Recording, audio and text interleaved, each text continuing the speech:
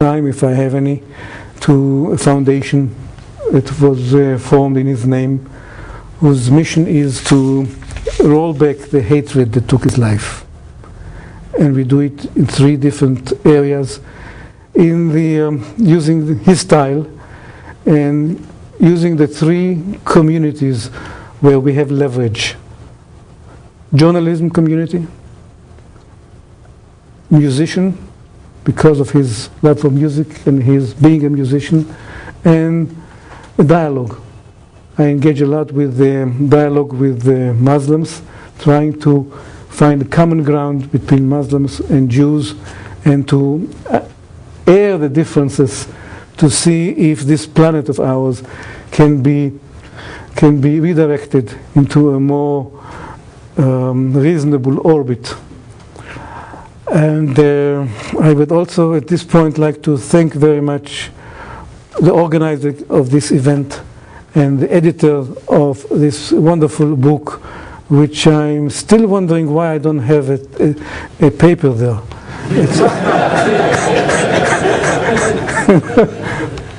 I would have liked to participate, but it was a surprise to me, and I, I appreciate you trying to keep it a surprise. I only got few hints, mainly, for, mainly from my wife, from Ruth. Something is cooking, and she mentioned the word fest shift, but I thought it a fest shift, you know, some sort of a festival of uh, Purim festival or something. But I didn't realize that you'll go to the extent of uh, producing such a wonderful book where I can, I can, I can read and find out what I missed in all these, all these years and all these areas which I have abandoned so uh, unwantingly. Thank you very much for being here with us. Thank you.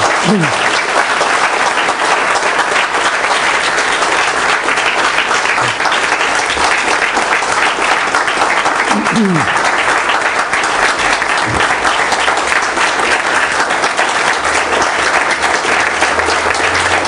do I do? I- How do I thank you back? I don't have. Um, ce- Celebrities this way, right? I'm happy to answer any questions about Mr. Brainless. yes, Dana. a no-brainer? What is it? Was this a no-brainer? It should be. What about free will?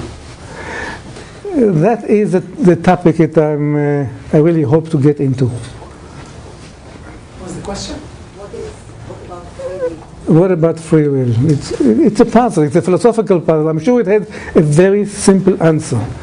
In terms of software architecture, I don't know the answer. Now, what kind of question do you have to answer? You have to answer several questions come to my mind. You have a system, under what condition it will get the uh, feeling okay, that it acted in, by free will. What needs to be activated? Short-term memory, long-term memory? What, what kind of modules need to be activated in that system before the system, yes, I acted with full volition. I knew what I was doing and I acted accordingly. As opposed to, it just happened. I was, in, I was enslaved by my urges. These are two kind of different. Oh, I did it spontaneously. I didn't think. What should take place in our mind or in the software system before a robot comes back with one answer as opposed to the other? It's only one question. And then the question is, uh, other question is, uh, uh, why did evolution equip us with this illusion of having free will? It must serve some computational function that makes us survive. What's the alternative? I mean, the, the truth is we are all aut- automaton, right? But could we communicate if we were just Turing automata? Could we have social responsibility, morality, education, all this, with just being Turing automata? Or we need some hierarchical uh, architecture to do that? And so, what is the computational advantage of the illusion of free will? The two questions that bother me. I don't know the answer. You have, you have made many. Yeah, No, I just know that I, Isaac Bashevis Singer said that uh, in his Nobel Prize uh, speech that uh, uh, we have to believe in free will. We, we have no choice.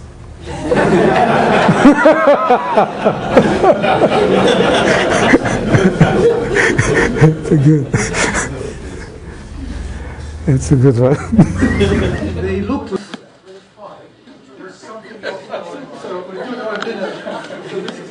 Discuss that at dinner. Dinner time. This is a great That's a great topic for dinner.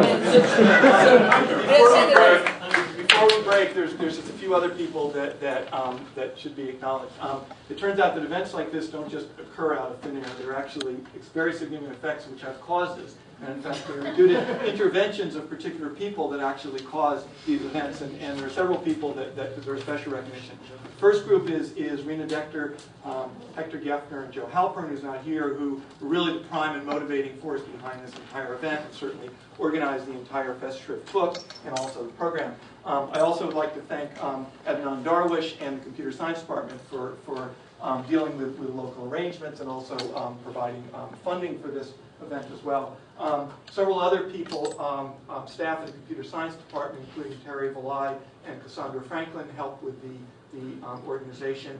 Um, I'll get to her in a second. Um, Cesar Romero, um, not Pippa, Pipatsrisawat, Ertan Dog Wilton, and Arthur Choi also helped as well. Um, and, and Peru is very special, so that they say behind every great man there's a great woman, and, and, and Judea's been lucky enough to have two, and the most important, of course, is his wife Ruth, and the other is Kaoru, who I think unfortunately stepped out of the room. She was here while ago. Kaoru is, is, as long as I can remember, has been Judea's assistant, and we've all um, benefited tremendously from reading his papers and, and, and his beautiful papers and listening to his beautiful talks, and it turns out that the intellectual ideas are, are Judea's, but all of the, the typographical work and all of the figures and all the beautiful animations and such are, are, are due to Kaoru, and she deserves a, um, a special thanks for, for that.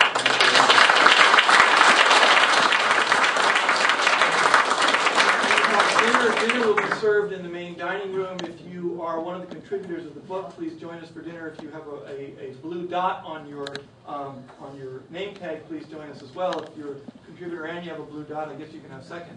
Um, one final um, thank you to Judea for all of his contributions.